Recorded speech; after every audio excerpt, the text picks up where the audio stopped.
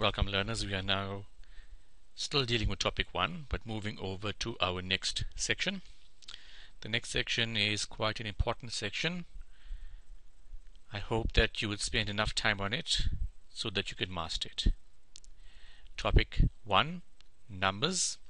We are now moving over to the section on manipulation of technical formulae. This is a new section in the level 2 curriculum. It is a very very important section.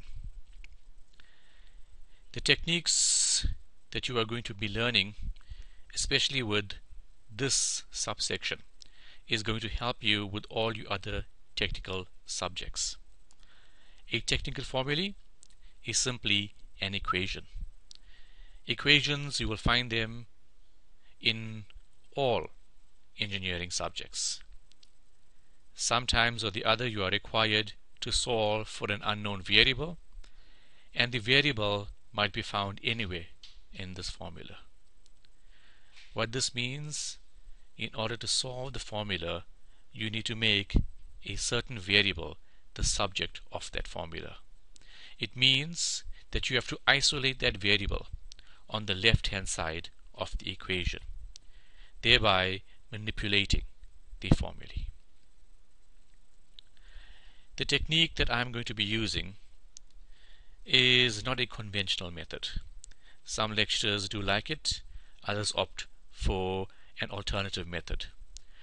As we are going through the lesson, I'm going to try to show you both methods. You can choose whichever one you are more comfortable with, but ensure that you manipulate using the rules.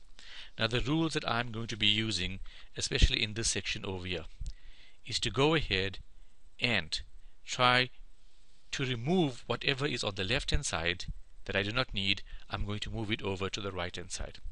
The very very simple rule that I'm going to be using is whenever I move a positive over the equal to sign on the other side of the equation, a positive will become a negative. A negative will become a positive. Guys, this is the incorrect sign that I'm using. It's implying nothing. I'm simply using it to tell you that a positive becomes a negative, a negative will become a positive as soon as it hops over the equal to sign. I'll explain in further detail as we go on. Just simply remember a multiplication becomes division or division becomes multiplication. If I have a square root, a square root, if I have to move a square root over the equal to sign on the other side of the equation, a square root becomes a square. Likewise, guys, with any other root, it could be, for example, the cube root of something. The cube root, when it moves over, simply becomes cubed. So a cube root will move over and become cubed. The last one, a fraction. If I have a fraction on the left hand side and I'm moving it over to the right hand side, the fraction inverts itself. So a half hops over to the other side becomes a 2. Now as I'm going through these examples I will make reference to this over here what I've explained. Let us now go ahead and try to look at how we are going to use those rules in order to simplify an example. The question would read make the variable within brackets the subject of the formula. Question number one V is equal to U plus AT. Now these are formulae that will be found in many many engineering subjects. You might not come across them at level 2 but sooner or later you will be coming across them in other subjects. But nonetheless, V is equal to U plus AT. The question requires us to manipulate 4A, which means I need to have the formula as A is equal to whatever.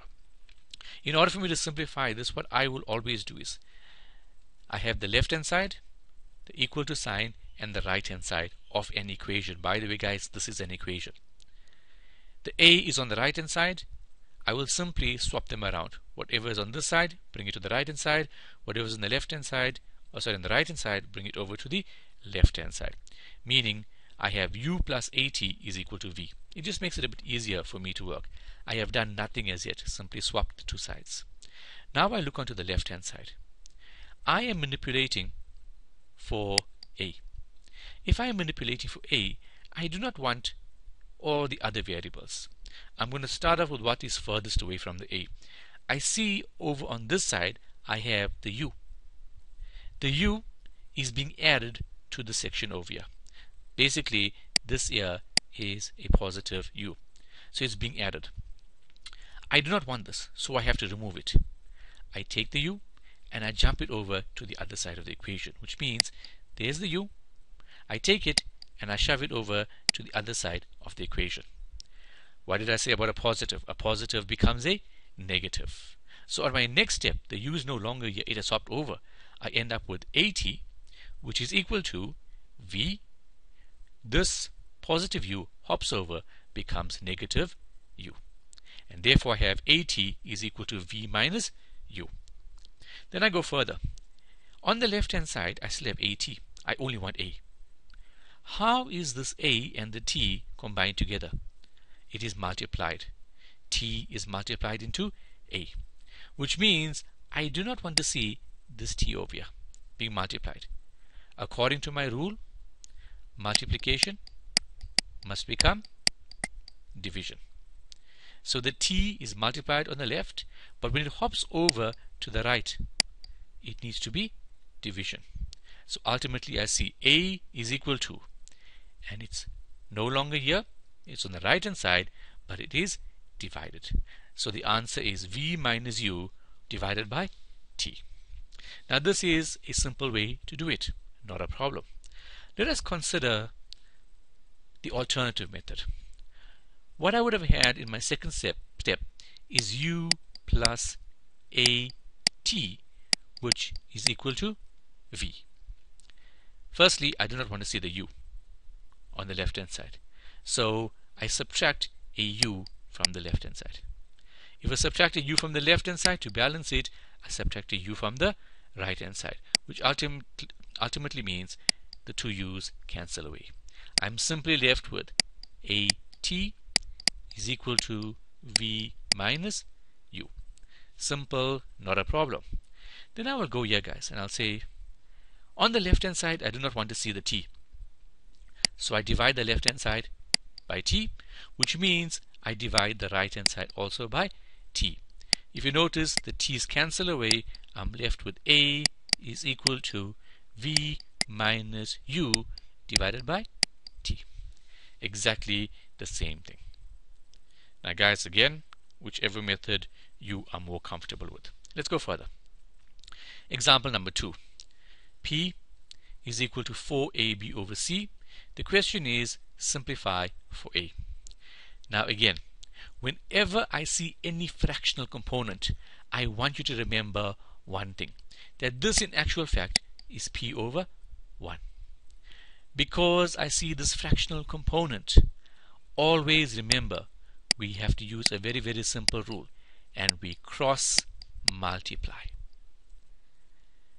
cross multiply across 4ab multiplied by 1 is 4ab is equal to p times c which is pc and now I go ahead and use the simple rules the simple rules tell me on the left hand side I do not want to see the 4 I do not want to see the b which means the 4 and the b is multiplied into a if it goes over to the other side it needs to come over to the other side and it becomes division.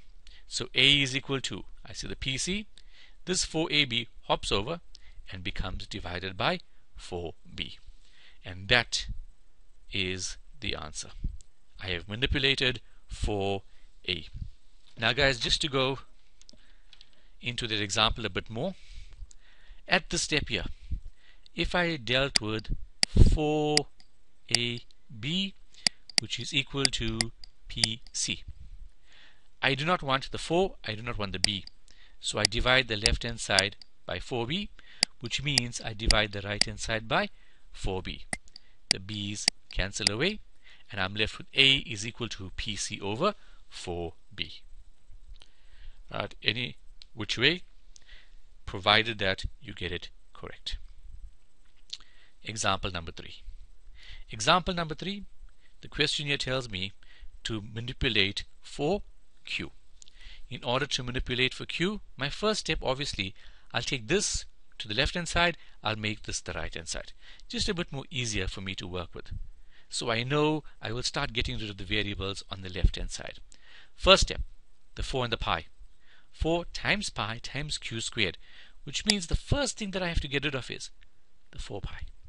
The 4 pi is multiplied into q squared, which means this multiplication of 4 pi, if I take it over to the other side, multiplication becomes division. So I go over to the other side and I say q squared is equal to b, come guys, divided by 4 pi. 100% correct. Then my next step is, once I come to the stage here, I do not solve, or I am not asked to solve for q squared. I need to solve for q. According to my rule, a square becomes a square root. A square root becomes a square. So in a nutshell, the 2 simply goes away from here. It becomes a square root on the other side. So q is equal to plus minus the square root of b over 4 pi. The only thing that I added in here was the square root. Square converts itself to a square root. Now guys, I put the plus and the minus here because, obviously, 3 squared is 9, minus 3 squared is also 9. So please get into the habit of putting the plus minus in terms of converting the square into a square root. This is q being manipulated. Now let's go further. What if I have to take this from this step forward and say 4 pi q squared 4 pi q squared is equal to b. On the left hand side I don't want the 4 and the pi so I divide the left hand side by 4 pi. The right hand side I do the exact same thing to balance divided by 4 pi. The 4 pi's cancel away. I'm left here with q squared is equal to b over 4 pi. How's that guys? In order to get rid of the square here, I square root the left hand side. If I square root the left hand side, I square root the right hand side. That cancels off with that. I'm left here with q is equal to, and I know this needs to be plus minus the square root of b over 4 pi. and that becomes the solution. How's that guys? Clear? Simple enough. Let's go to the next example. In most cases, we would have to find the value of an unknown in an equation. Now this is a practical approach to manipulation of formula. We don't just manipulate because we need to manipulate in a practical sense. We have to first manipulate and then solve for an unknown variable. This is called substitution into the formulae. Question. Given A is equal to L times B. Determine the value of L if A is equal to 140 and B is equal to 10. A caution. Normally in a vocational subject, you might want to go and substitute values into the equation and then start manipulating. Sometimes it is much easier to do it that way. But in mathematics, the question will stipulate that you need to manipulate for a variable first. The second part of the question will go ahead and ask you to solve for an actual value. So nonetheless, you will have to know how to manipulate variables. A is equal to L times B. Simple formula. For the moment, I'm not interested in what A is, what L is, what B is, even though you might know it. If I'm going to solve for L, I swap them around. L times B is equal to A. And obviously L is equal to A divided by B. Again, guys, any which way that you want to do it, I'm happy with that. Once I end up with this stage, the second part of the question, determine the value of L if A is equal to 140 if b is equal to 10. it means that I have to substitute A and B and end up with a value of L and L is equal to 14. At this point they have not given me any units so L is simply equal to 14. B got it. If units are being given your answer should be in a certain unit. If no units you do not insert any units here. Let's go to another example. Example number 5. Given S is equal to 2AB over C plus 2, make B the subject of the formula and hence, watch this word here, hence. Now some of you come across that word there, you don't know what it means. Hence. Hence means after you have done the first part, use the first part to solve the second part. S is equal to 2AB over C plus 2. I need to make B the subject of the formula. This is an, a fraction. Straight away, I must put that as S over 1. And I've done that for you. 2AB over C plus 2 is equal to S over 1. My next step, the rule I have given you earlier, I need to cross multiply. Keep in mind that I'm making B the subject of the formula. So 2AB multiplied by 1 is equal to 2AB. S multiplied by C plus 2 is S into C plus 2. I don't need to work this out because I am manipulating for B. According to your rule, there's a 2A that I don't need. I divide this side by 2A, which means I divide the right hand side by 2A, or I simply move 2A to the right hand side and it becomes division.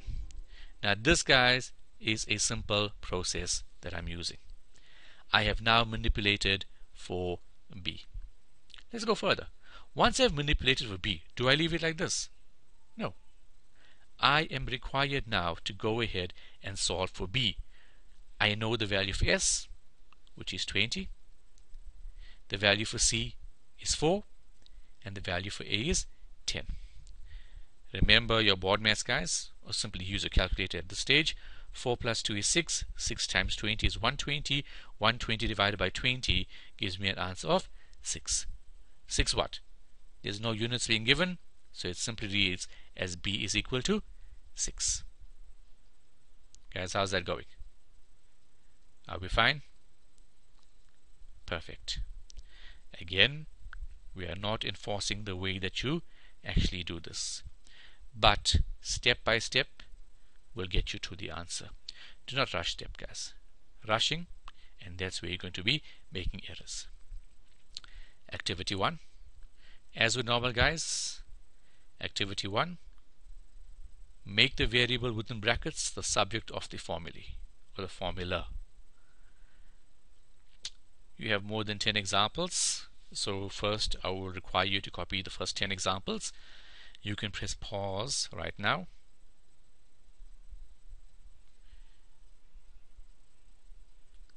there's examples 11 to 18 please take note that your brackets these brackets is what you are basically manipulating for and while you are at this guys I want you to take note of the actual formulae that is being given you would notice these are very very applicable formulae. You'll be coming across them in the level 2 curriculum.